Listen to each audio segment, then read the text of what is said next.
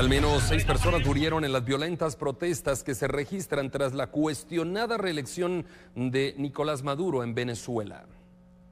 Al menos seis personas han muerto y 749 han sido capturadas durante las manifestaciones en Venezuela contra la reelección del presidente Nicolás Maduro. La crisis se intensificó después de que el Consejo Nacional Electoral oficialmente proclamara a Maduro para un tercer mandato.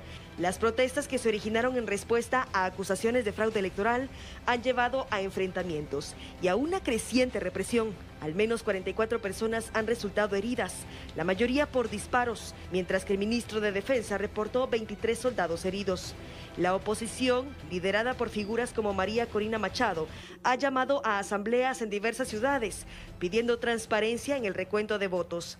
Maduro, por su parte, ha denunciado un intento de golpe de Estado y ha convocado a una gran marcha en apoyo a su gobierno, enfatizando la lealtad de la Fuerza Armada.